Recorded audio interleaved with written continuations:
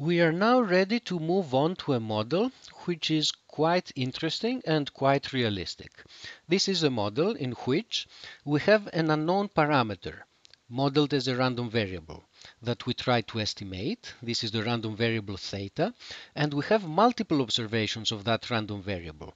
Each one of those observations is equal to the unknown random variable plus some additive noise. This is a model that appears quite often in practice.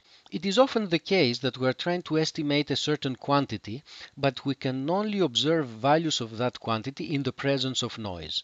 And because of the noise, what we want to do is to try to measure it multiple times.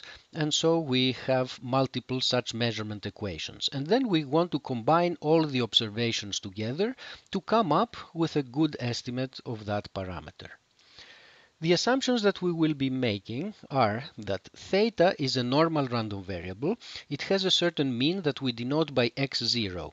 The reason for this strange notation will be seen later. And it also has a certain variance. The noise terms are also normal random variables with zero mean and a certain variance. And finally, we assume that these basic random variables that define our model are all independent. Based on these assumptions, now we would like to estimate theta on the basis of the x's.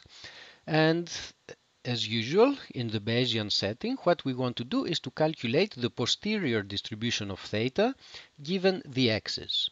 The Bayes rule has the usual form for the case of continuous random variables.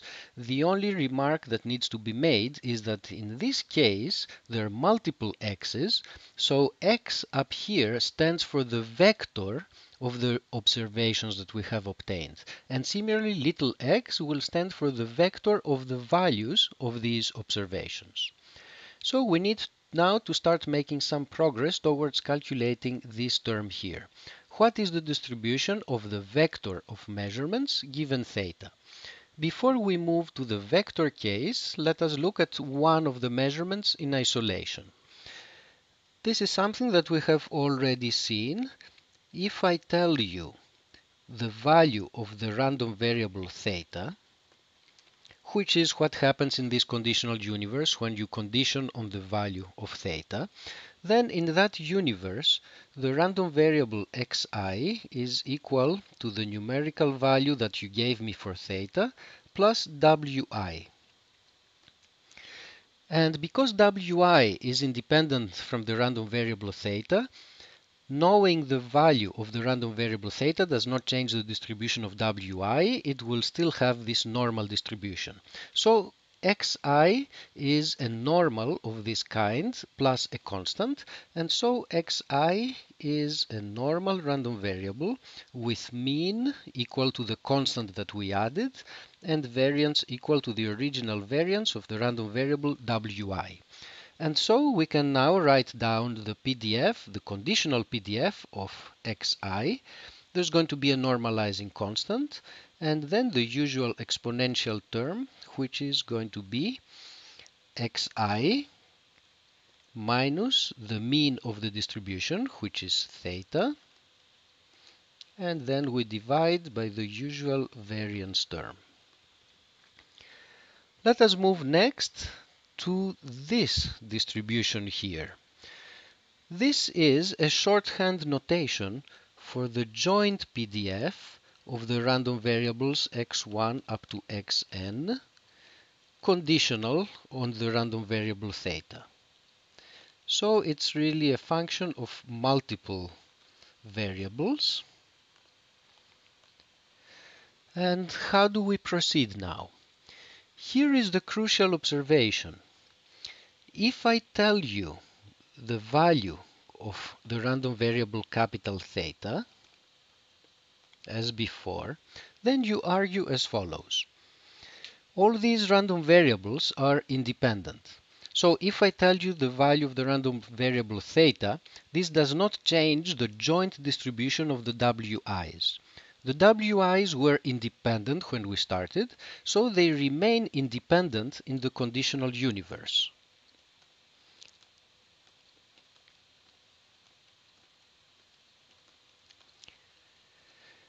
And since the wi's are independent and the xi's are obtained from the wi's by just adding a constant, this means that the xi's are also independent in this conditional universe.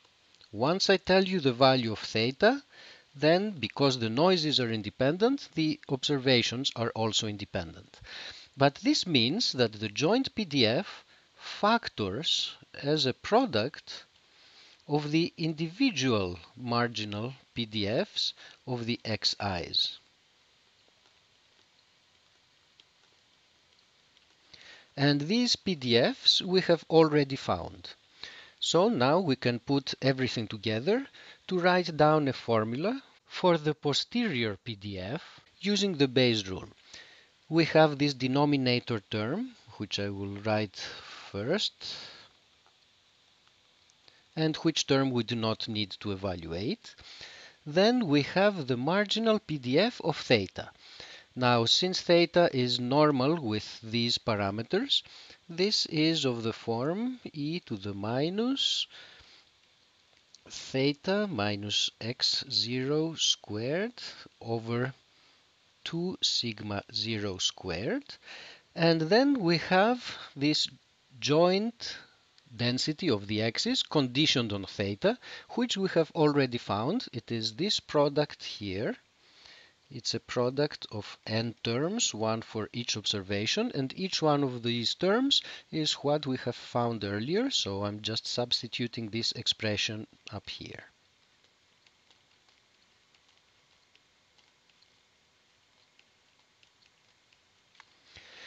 Now, once we have obtained the observations, so the value of the random variable capital X, that is the value little x, is fixed, once it is fixed, then the x's that appear here are constant. So in particular, this term here is a constant. We do not bother with it. And what we have is a constant times an exponential in terms that are quadratic in theta. So we recognize this kind of expression. It has to correspond to a normal distribution. And this is the first conclusion of this exercise. That is, the posterior PDF of the parameter theta, given our observations, this posterior PDF is normal. We have e to a quadratic function in theta, and that quadratic function also involves the specific values of the x's that we have obtained. Let us copy what we have found and rearrange it. Once more, we have a constant, then the exponential of the negative of some quadratic function in theta and the specific quadratic function that we calculated just before takes this particular form. What is the mean of this normal distribution? The mean is the same as the peak and to find the peak the location at which this PDF is largest, what we do is we try to find the place at which this quadratic function is smallest.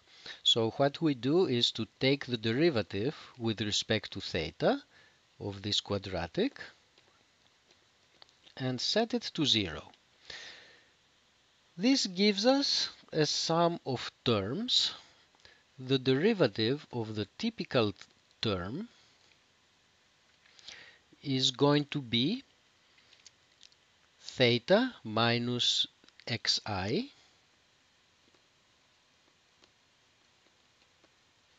divided by sigma i squared. And this expression must be equal to 0 if theta is at the peak of the posterior distribution. And so we now rearrange this equation we split and take first the term involving theta and gives us a contribution of this kind.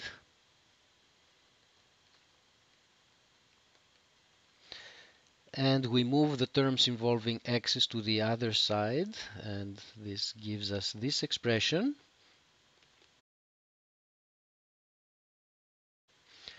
And finally, we take this sum here and send it to the denominator of the other side and this gives us the final form of the solution.